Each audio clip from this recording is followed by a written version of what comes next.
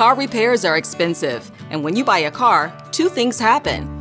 The risk of a major repair increases roughly at the same time your vehicle warranty coverage expires, which could leave you paying for expensive repairs out of pocket. No big deal? Let's look at some numbers.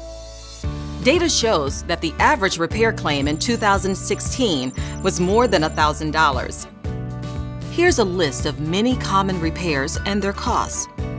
The fact is, you could easily be out hundreds, if not thousands of dollars. Fortunately, there's a great option called mechanical repair coverage that can help minimize those big repair bills.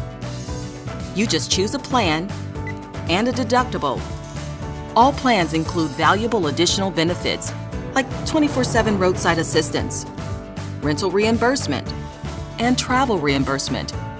You can choose any repair shop you like, and the coverage is usually transferable if you sell your vehicle. Bottom line, with mechanical repair coverage, you'll reduce the cost of expensive covered car repairs and gain an added selling point if you sell your vehicle. Now, you may be offered other repair coverage plans elsewhere, but as a credit union member, you get special access to great low rates for top quality mechanical repair coverage just for being a member. Mechanical repair coverage through your credit union. Find out if it's right for you today